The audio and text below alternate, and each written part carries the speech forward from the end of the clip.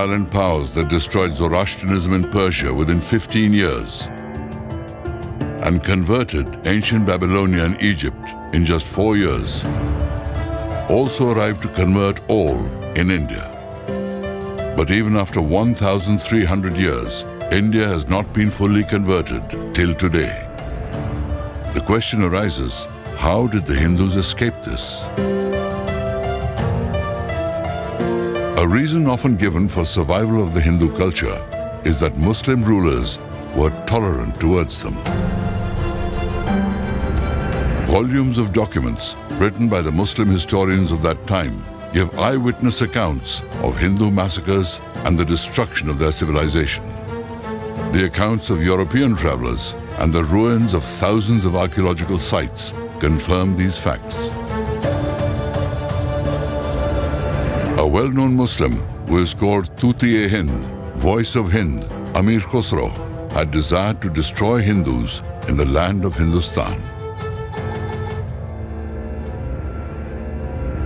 There were brave warriors in Persia and Babylonia who wanted to save their ancient civilization.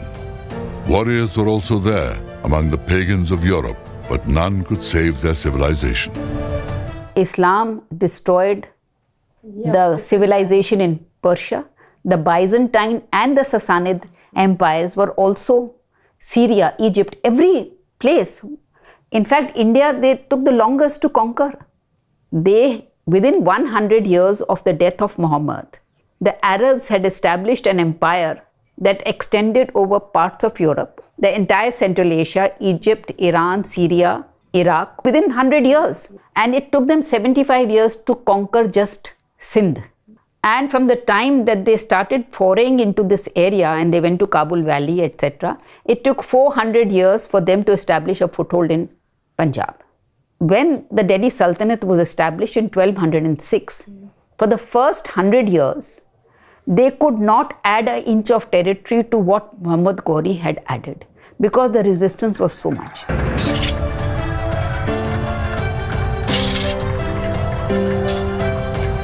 Resistance. The tremendous resistance and self-defense for the longest period in world history was drawn from the power of yoga. There is no power like yoga and no knowledge like Sankhya. This verse is in the text of war, the Mahabharata. In the middle of the battlefield, Krishna declared that Atma cannot be cut by the power of the sword. The Atma is immortal, and the body will perish anyway. The one who knows this becomes absolutely fearless. Death cannot defeat him, no one can frighten him. Instead, all are fearful of him.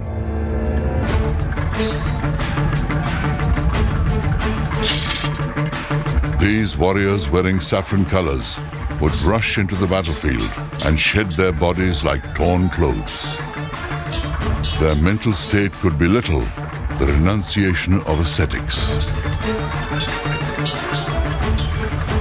The self-defense of these valiant warriors continued to defeat the invaders for many centuries. They recaptured their defeated forts. But along with this, millions of common people were also killed. Thousands of brave women chose to sacrifice themselves to the burning fire of Johar to escape horrors at the hands of attackers. In the north, when the resources of the Rajputs were exhausted, they had to compromise with the attackers. But in the south, a powerful empire, Vijayanagar, was born and flourished for a long time.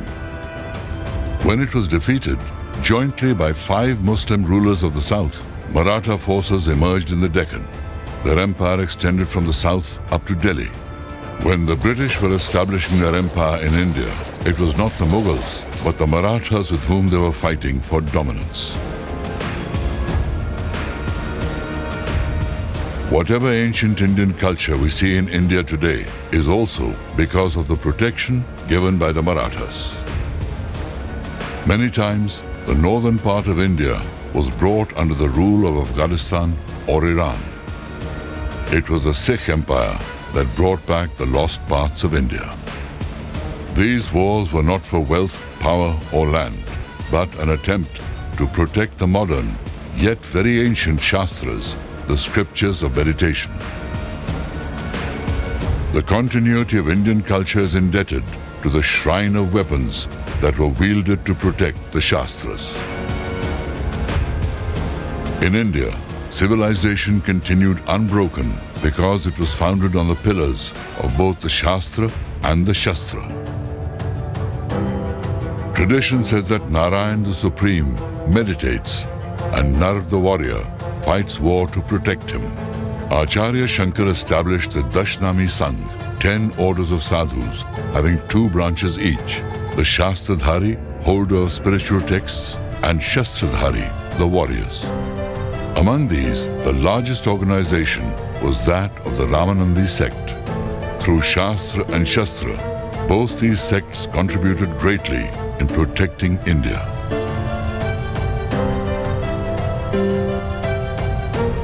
The temple of Somnath had thousands of devotees worshipping in the belief that their god will protect them. But Ghaznavi slaughtered them in thousands. The nation was shocked and people were deeply depressed.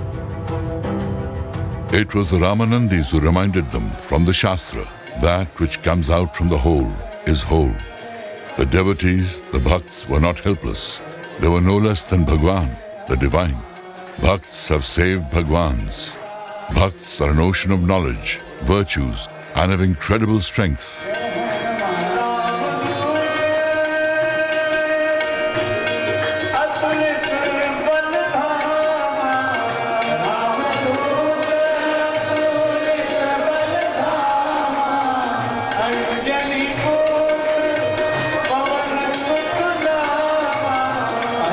Ram is truth incarnate.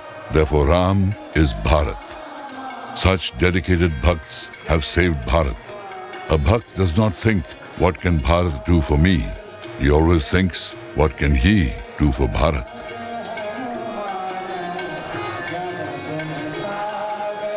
Citizens of the modern world get inspiration from bhakts like this.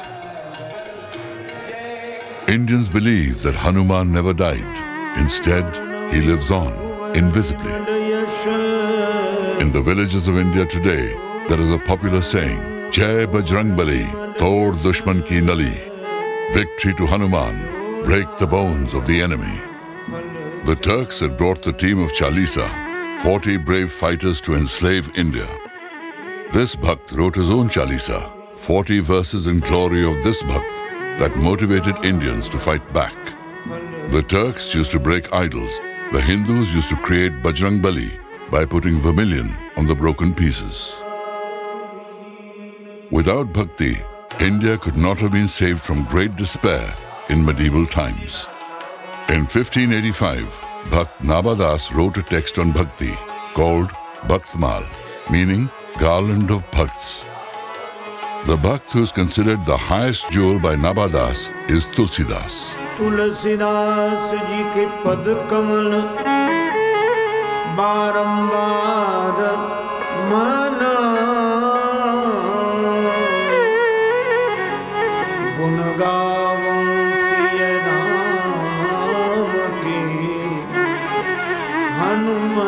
हो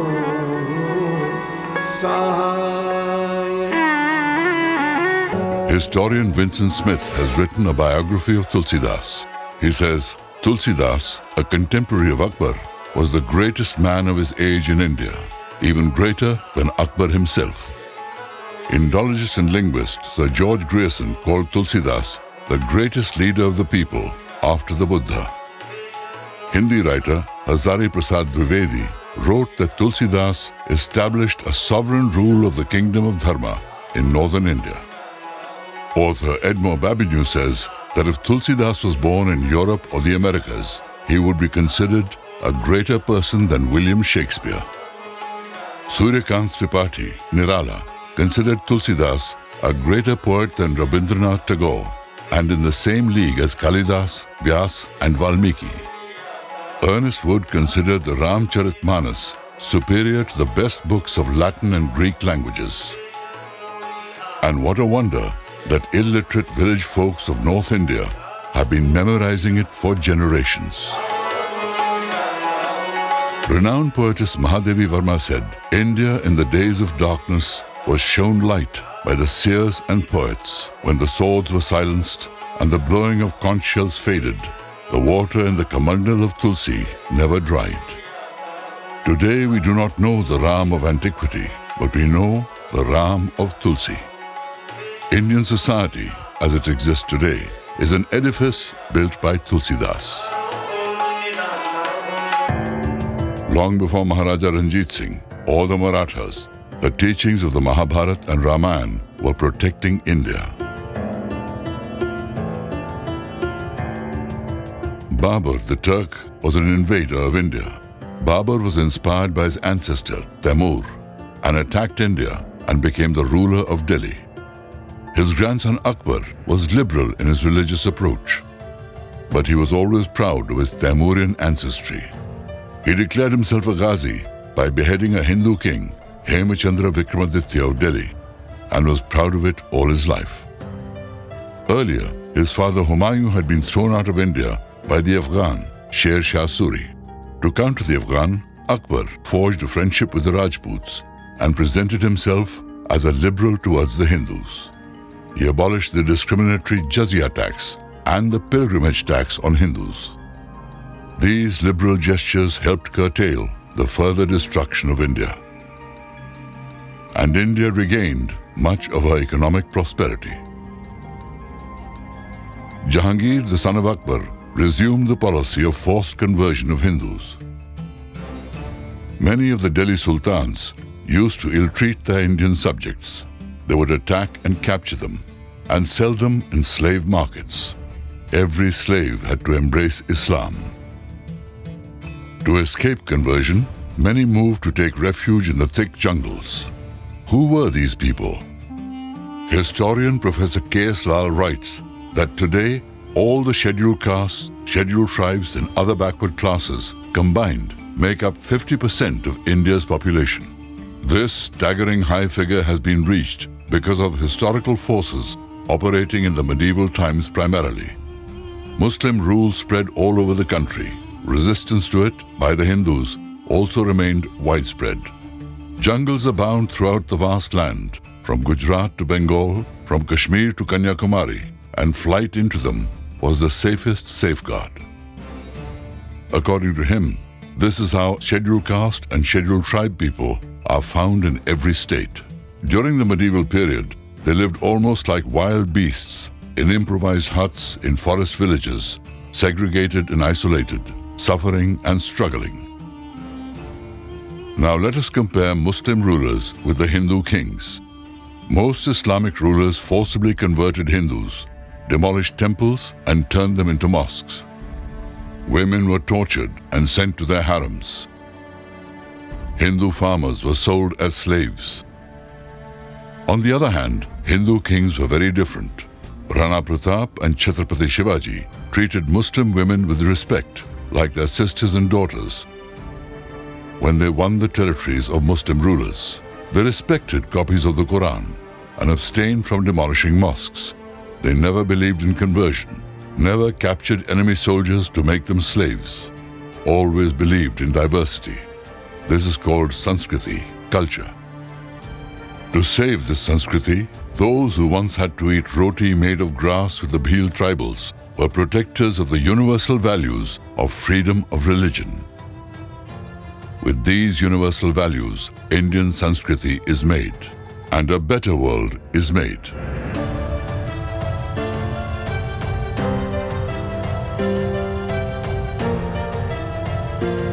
Babur once wrote, In India, foreign invaders plunder village after village, kill people, but just in a few years, the same villages flourish again in full bloom, reverberating with song, dance, and festive celebrations. How is this possible?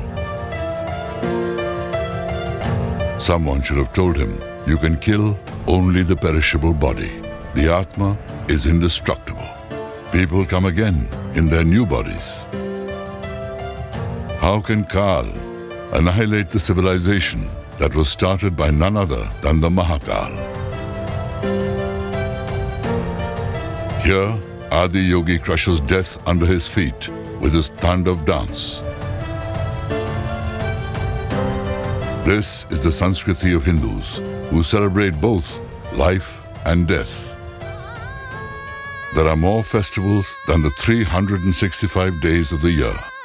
For Indians, Bharat is not only the land of Dharma, this is the land of Ras Leela, blissful celebrations of the yogis. It is all because of their philosophy of life that the Indians were saved from falling into despair in spite of centuries of marauding invasions. The celebrations of Kalpataru, the wish-fulfilling tree of civilization, have lived on forever.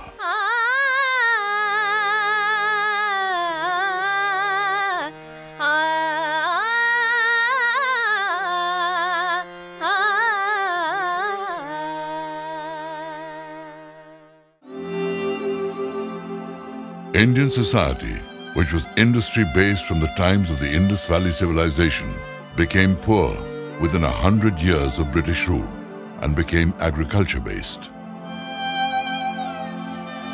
During famines, one-third of the population perished. In spite of this, the revenue of the British East India Company increased manifold.